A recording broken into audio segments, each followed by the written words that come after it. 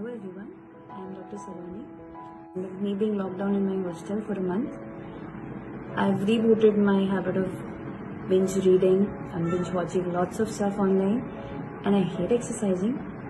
That's why I dance a lot nowadays. Besides, I make sure that I make a video call or at least a simple phone call to my family every single day. A lot of my colleagues and friends are working in COVID hospitals. So I make sure that once a day I got, call up at least one of them and try to boost up their morale. This one month has made all of us realize, in, introspect sort of into our daily lives. Look for the bare necessities, the simple bare necessities. Forget about your worries and strife.